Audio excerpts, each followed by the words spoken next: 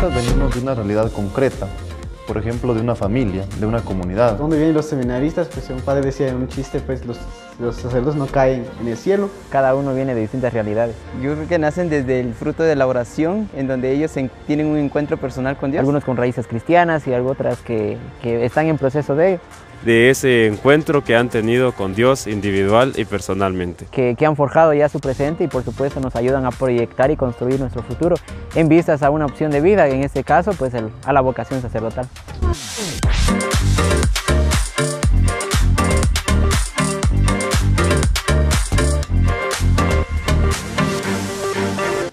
Y bien, parte de nuestra actividad cotidiana aquí en el seminario pues está el trabajo de campo.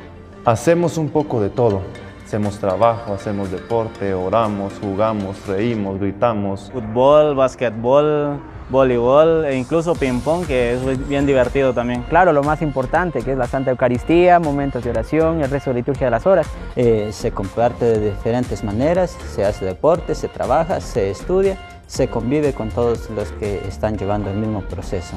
Y también pues para desempeñar nuestros talentos, en mi caso pues yo soy carpintero. Vivimos de una manera muy integral y esto implica cuatro dimensiones ¿no? que se van distribuyendo en las distintas actividades y se trata ¿no? de vivir las cosas ordinarias y convertirlas en extraordinarias.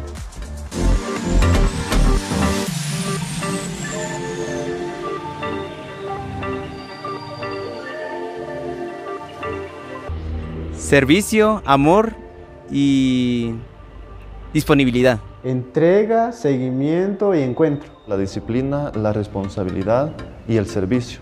Alegría, fraternidad y espiritualidad. Llamada, felicidad y amor.